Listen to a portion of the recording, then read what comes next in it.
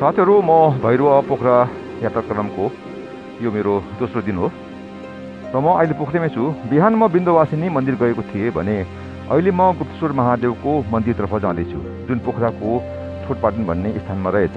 र साथै त्यहीँ नजिकै अर्को एउटा पर्यटकीय गन्तव्य रहेछ साथीहरू डेभिस फल्स जसलाई नेपालीमा पातलो छाँगो भन्दा रहेछ म त्यसतर्फ जाँदैछु है साथीहरू। पोखरामा यो मेरो दोस्रो दिन हो साथी। अझै म अझै दुई दिन म यहाँ रोक्नेछु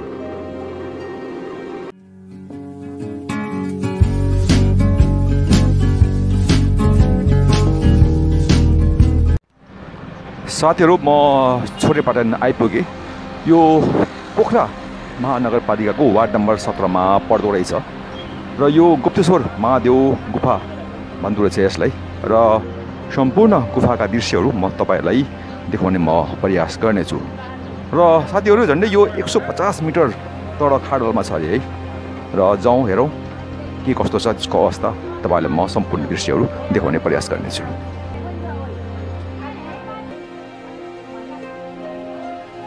ल साथीहरू म त्यो स्थानमा आइपुगेँ। र टिकट लिनुपर्छ अरे अब। म पहिला टिकट लिन्छु र त्यसपछि म त्यसमा प्रवेश गर्न प्रयास गर्नेछु है साथीहरू। सम्पूर्ण दृश्यहरू तपाईँहरू हेर्दै जानु होला साथीहरू म अहिले यस गुफाको ठिक माथि उभिएर यसको दृश्य मैले लिइरहेको छु। र विशेष के छ भने यो पुरा खाडल छ है साथीहरू। पुरै यो तल खाडल हो। यसको वरिपरि एउटा सिँढी निकालेर यसलाई घुमदार एउटा घुमेको आकारमा यसको एउटा सिँढी निकालेको रहेछ। यहाँ यसबाट चाहिँ तल उत्रिनु पर्छ अरे। र तलभित्र पसेर तल गएपछि फेरि गुफाभित्र पस्नु पर्छ अरे। हेरौँ अगाडि के के छ।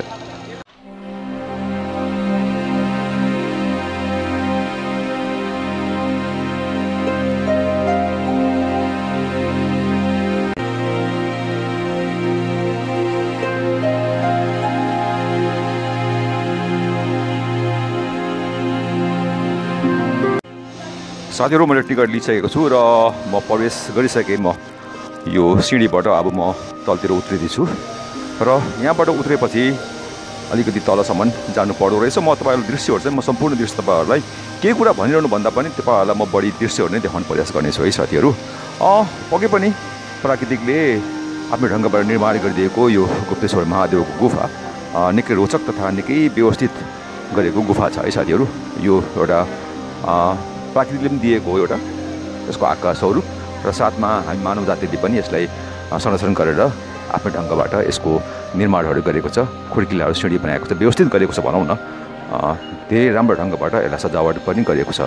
र सम्पूर्ण दृश्य म तपाईँहरूलाई देखाउँदै म तलतिर उत्रदैछु र भित्र पनि म गएर के के देख्न सकिन्छ त्यसको सम्पूर्ण दृश्यहरू म तपाईँहरूलाई देखाउन म कोसिस गर्नेछु है साथीहरू।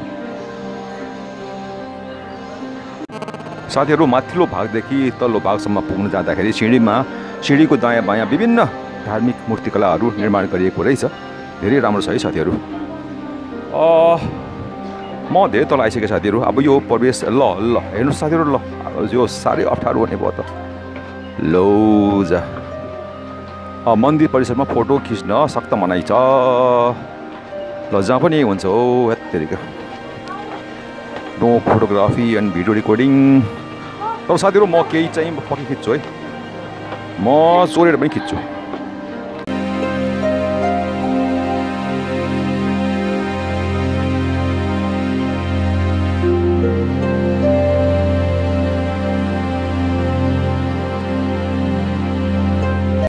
एउटा ठुलो हल रहेछ साथीहरू र विशाल काय हल चाहिँ ठुलो छ भयङ्कर ठुलो अग्लो हल छ त्यो हलमा बिचमा एउटा शिवलिङ्ग आकारको एउटा प्रतिमा रहेछ र त्यसलाई नै महादेव भनेर मान्छेहरूले यहाँ पुज्दा रहेछन् र प्राकृतिकले दिएको आकार। धेरै डरलाग्दो र विशाल काय गुफा छ साथीहरू र अलिकति मलाई अलिकति अप्ठ्यारो पनि लाग्यो डर पनि लाग्यो। सास पनि अलिकति फेर्न फेर्न गाह्रो गाह्रो पनि हुँदो रहेछ यहाँभित्र चाहिँ। धेरै तल पुग्छ हामीहरू। एक सौ पचास मिटर तल खाडोमा पसेर फेरि हामी चाहिँ दायाँ बायाँ जानु पर्दो रहेछ। यहाँ ट्रेक बनाएको रहेछ। त्यही बाटो हामी अगाडि आउँदैछौँ। म गुफामा प्रवेश गरिसकेको साथीहरू। बाटो साह्रो चिप्लो छ है साथीहरू। चिसान पनि छ पानी माथिबाट सुई पनि रहेको छ। र अचम्मको ठाउँ छ। सुरुङ जस्तो आउँछ फेरि ठुलो हल आउँछ। सुरुङ जस्तो आउँछ फेरि ठुलो हल आउँछ। यसरी नै हामी चाहिँ अगाडि बढिरहेको छ। मान्छेहरू यसरी नै अगाडि बढिरहेको छ। र त्यो हलमा फेरि तलतिर पुरा तपाईँको चाहिँ पानी नदी बगिरहेको छ। अचम्मको ठाउँ छ साथीहरू। र अलिक तल जसो पनि खतरनाक पनि छ पक्कै पनि। हाम्रो टाउको माथि चाहिँ पोखरा चाहिँ पोखरा बजार चाहिँ हाम्रो टाउको माथि हामी पोखराको भित्रभित्र हामी कहाँसम्म पुगिरहेको छौँ हामीलाई पनि थाहा छैन। र अगाडि चाहिँ डेभिज फलको यो सानो खसेको दृश्य चाहिँ म तपाईँहरूलाई एउटा फोटो देखाउनु म प्रयास गर्नेछु। ल त साथीहरू म मन्दिरबाट बाहिर निस्केँ अब यहाँ निकै घुमियो डुलियो र त्यति प्रश्न मेरो इच्छा पनि भएन र म मासतिर जाँदैछु।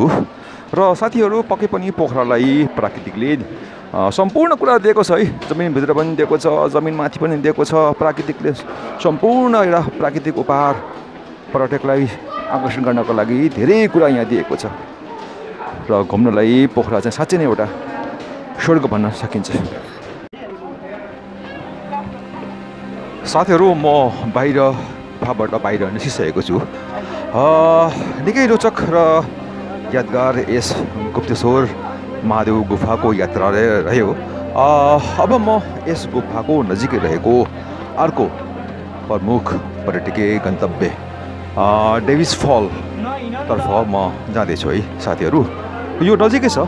यो जुन बाटोबाट म आएँ त्यो बाटोको ठिक पारिपट्टि त्यस डेभिस फल पाताली छाउँ भनिन्छ यसलाई। नेपाली भाषामा म त्यसतर्फ जाँदैछु र त्यहाँको दृश्यहरू म तपाईँहरूलाई देखाउनेछु है साथीहरू।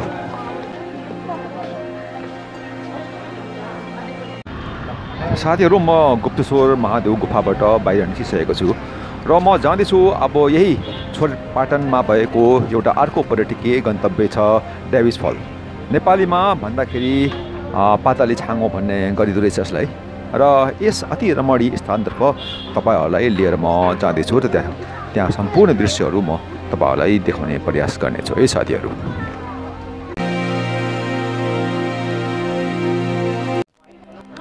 स्थानीय छोरेपाटन उच्च माध्यमिक विद्यालयको संरक्षणमा सञ्चालित यो पातले छाँगो डेभिस फलमा अधिकांश भारतीय पर्यटक र शैक्षिक भ्रमण आउने विद्यार्थीहरूको यस स्थललाई पहिलो रोजाइ बनाउने गरेको रहेछ।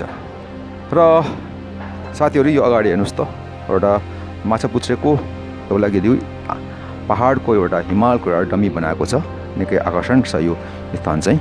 र यो सँगसँगै तपाईँको विस गर्ने पुल मनोरञ्जन पार्क फुल बगैँचा बुद्धको मूर्ति र विभिन्न जनजातिको पोसाक सँग तस्बिर खिचाउने एउटा स्थान यहाँ पर्यटकलाई निकै लुभ्याउने गरेको पाइन्छ। रमाइलो साथीहरू पक्कै पनि आउनु होला यो स्थानमा। इक्कीस तारीख के दिन में स्विस नागरिक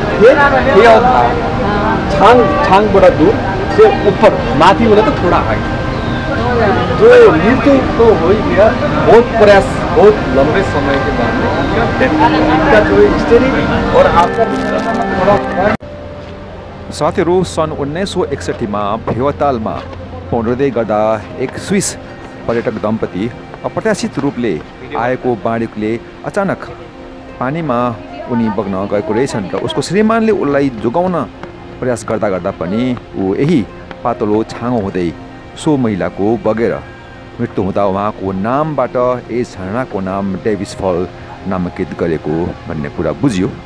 र यसको नाम चाहिँ पातले छाँगो भन्ने पुरानो नाम हो र उन्नाइस सौ एकसट्ठी पछि यो क्षेत्रको नाम चाहिँ डेभिस फल नामाङ्कित गरेको रहेछ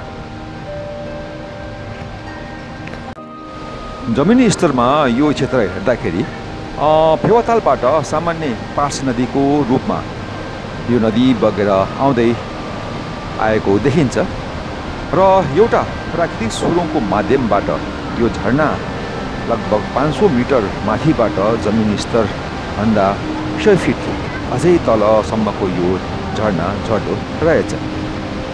साथीहरू विशेष गरी वर्षायाममा यो झरना र नदीले लिने खतरनाक र भयङ्कर यसको रूप चित्रको एकदम डरलाग्दो हुँदो रहेछ। र यो तल हेर्नुहोस् त अहिले त पानी छैन। तर जुन ढुङ्गामा जुन माग देखिन्छ त्यसले स्पष्ट हुन्छ पानीको मात्रा कहाँसम्म आउँछ।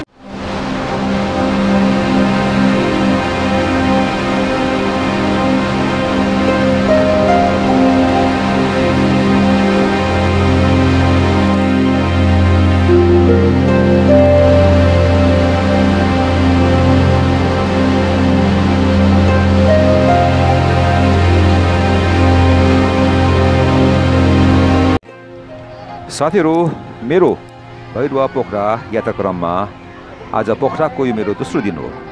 आज बिहान म बिन्दवासिनी मन्दिर गएको थिएँ। त्यसपछि म गुप्तेश्वर महादेव गुफामा म पुगेँ र अहिले म पर- प्राकृतिक गुणले पर्यटकलाई लोभ्याउने पोखराको आकर्षण गन्तव्यमध्ये एक यो तपाईँको डेभिस फलमा छु।